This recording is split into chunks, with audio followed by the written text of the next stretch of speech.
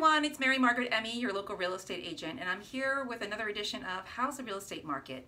We're here in our last day of January 2020, and I want to give you an update for the month of January, and it's going in alphabetical order. Starting in Closter, last year we had six homes that sold. This year, in 2020, nine. In Cresskill, three homes sold, and this year, four. New Milford, 10 homes sold. This month, 12. See the pattern here? It's going up which is great. And in Tenafly, here we had seven homes that sold last year in January, and this month, eight homes. So as you can see, the trend is going up, which is wonderful, good, great news for home sellers and home buyers.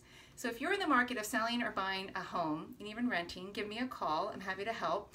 917 749 9777.